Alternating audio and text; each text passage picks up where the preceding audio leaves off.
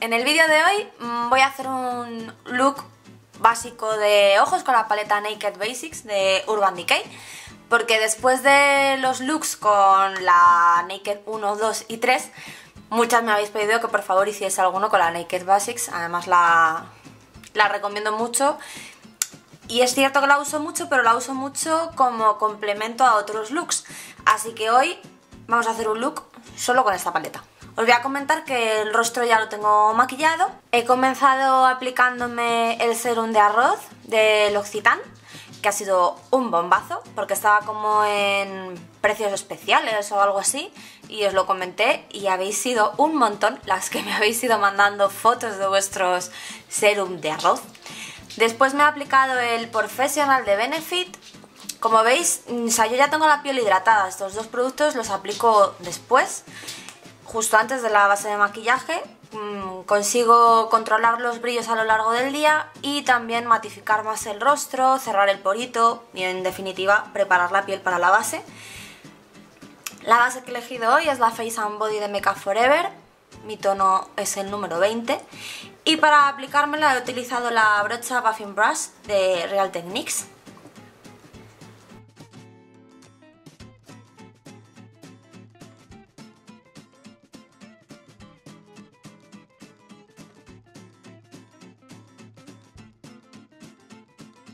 Para dar un poquito de vida a mis ojerillas he utilizado de Yves Saint el Touch Eclat en el número 2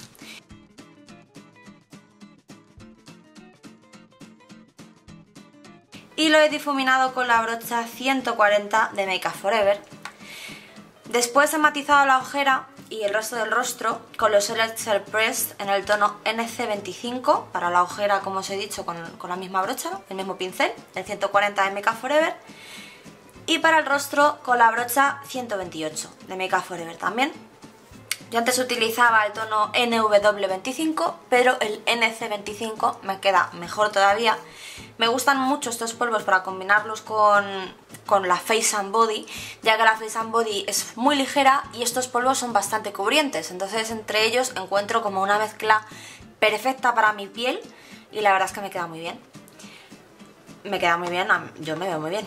He utilizado después para contornearme el rostro un poquito los polvos Laguna de NARS y la misma brocha para que veáis que al tener la forma que tiene tan planita y un poco picuda mm, es estupenda para contornear el rostro, o sea, es como si estuviésemos usando, por ejemplo, la ITA de NARS o alguna brocha de este estilo. Entonces, al ser tan plana, es estupenda para esto. Son las, mm, las dos funciones así mejores que yo he encontrado en esta brocha. Matizar y contornear. Me gusta muchísimo. Como colorete he, utilizado el Laster de NARS con la brocha de colorete de Bobbi Brown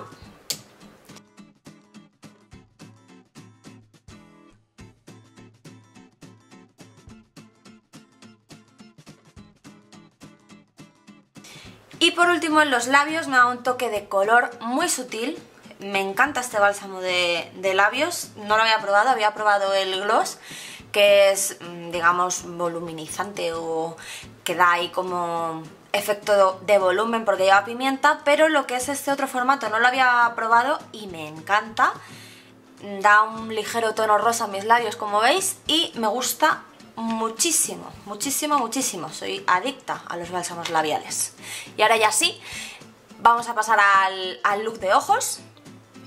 Empiezo con la base de párpados de Urban Decay, que sabéis que la tengo en este botecito, en el tono Eden. Bueno, voy a hacer un, ahumado así bastante básico, me apetece bastante hoy verme con un, con un ahumado. Empiezo con la sombra Crave, con la más oscura y voy a utilizar el pincel de Zoeva 234 aplico justo en el centro del párpado móvil digamos toda la cantidad de producto y ahora voy difuminando y repartiendo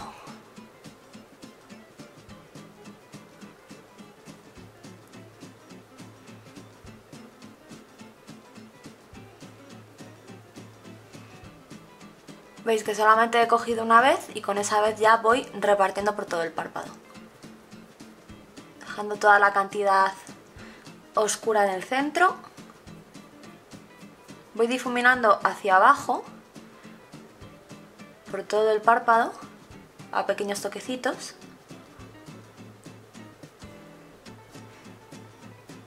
Y lo dejo lo más difuminado posible para que después integrar la siguiente sombra sea muy fácil.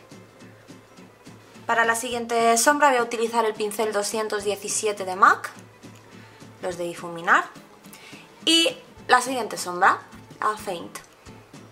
Justo donde hemos dejado el corte, pues un poquito más abajo, doy toquecitos y voy igualmente subiendo a pequeños toques hacia, hacia arriba. Y ahora ya empiezo a hacer pequeños circulitos.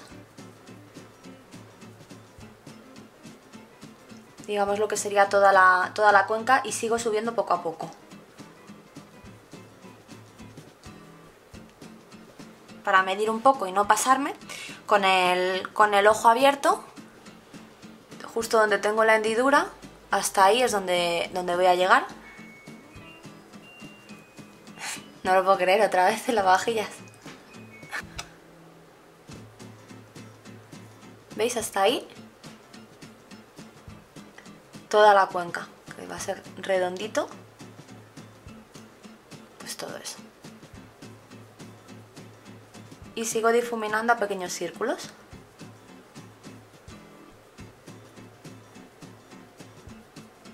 Más o menos cuando lo tengo difuminado, ahora ya de un lado a otro que casi no me queda producto en el pincel, sigo subiendo hasta arriba. Bueno, hasta arriba no, más o menos hasta aquí, que me quede todavía hueco para, para iluminar ahí arriba.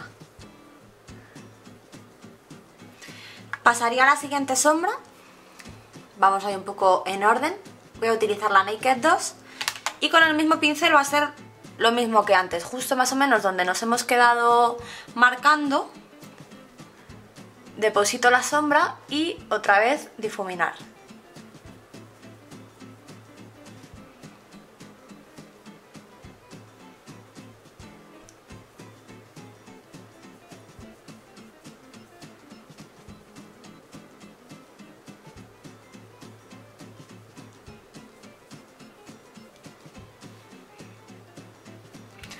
Por último, utilizo la siguiente, la WOS,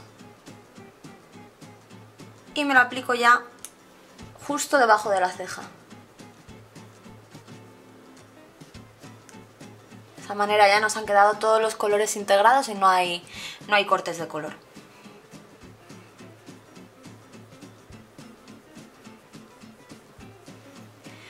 Ahora vuelvo atrás y voy a volver a repasar el negro, que con tanto difuminar pues siempre se pierde un poco. Y lo hago de la misma manera que al principio. Deposito toda la cantidad en el centro y voy subiendo.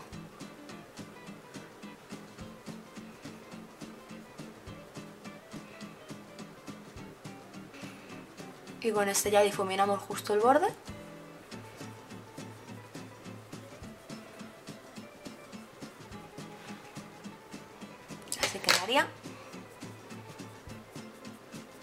¿Veis la diferencia con un ojo y otro? Es que al final se va perdiendo mucho la, primera sombra que hemos puesto.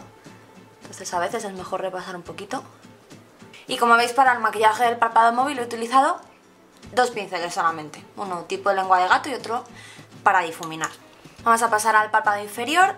Voy a maquillar la línea de agua con el lápiz cero de Urban Decay, así no nos salimos de, de la marca. La línea inferior y también la interior superior.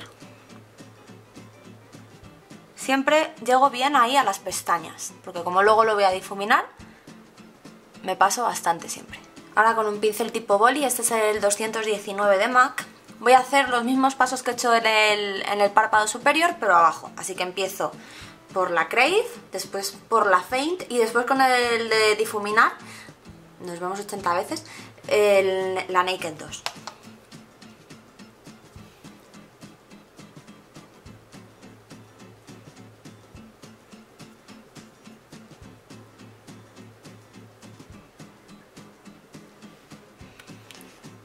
Me subo también justo por la línea de pestañas.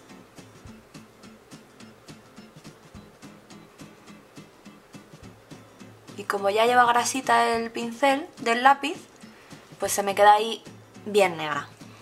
Limpio un poquito el pincel. Paso a la sombra Faint. Y por último, como os he dicho, con el pincel de difuminar y la sombra Naked 2 termino de difuminar todo el párpado inferior.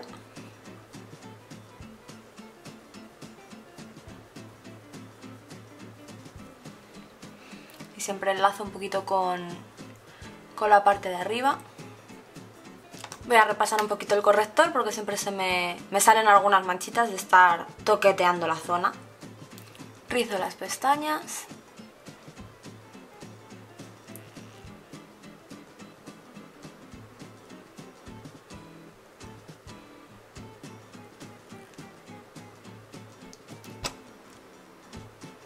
Si veis que se me pone rojo este ojo, es que tengo una pelusa de esas típicas de bufanda, de esas que nunca encuentras, y ahí está, pero no la pillo. Bueno, como máscara de pestañas no puedo utilizar de Urban Decay porque ya se me, se me gastó la Big Fatty. Voy a utilizar la, la de Make Up Forever, la Smoky Extravagant. Tiene esta forma cónica el, cepillo, pero la verdad es que está muy bien. Eh, cuesta pillarle el puntito, pero quedan muy bien las, las, pestañas. No es el efecto de la Big Fatty para nada, porque la Big Fatty es pestañones muy muy muy intensos y muy espesos y esta no, esta más bien deja la pestaña muy negra y muy separadita. Y con la forma que tiene me da la sensación de que da como mayor grosor a la forma, o sea, a las pestañas del centro. O sea, que no es la típica máscara de pestañas que alarga, sino que espesa mucho todo el centro. Me gusta un montón. Y veis, quedan como muy, muy abiertitas, no sé. Me gusta un montón. Y por último peino un poquito las cejas y las voy a maquillar también con la, con la Naked Basics. Utilizo el pincel 274 de Mecha Forever. Y lo que voy a hacer es mezclar estos dos tonos. Pero para mi tipo, que soy castaña, pues más el Faint que el Crave. Hago ahí como una pequeña mezcla y maquillo sobre todo pues bueno las, las, pequeñas calvitas que hay entre los pelos para darles ahí un poquito de profundidad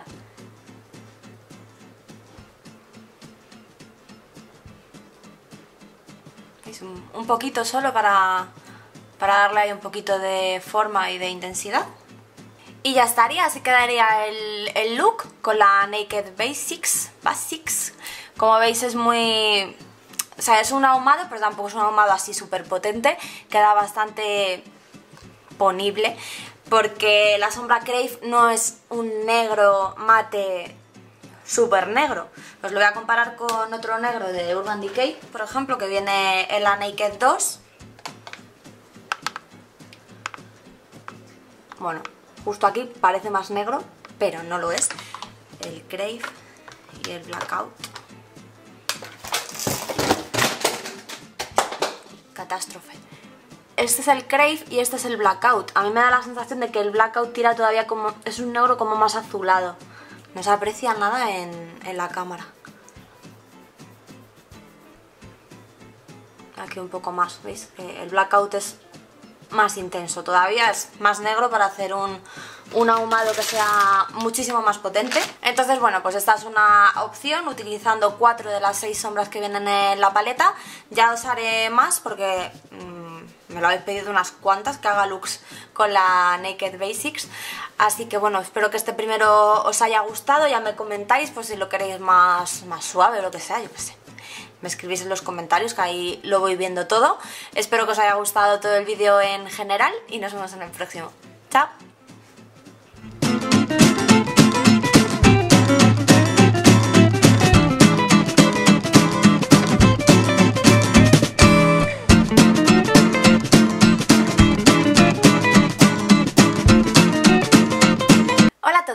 En el vídeo de hoy, y pongo una palmada, hola a todos.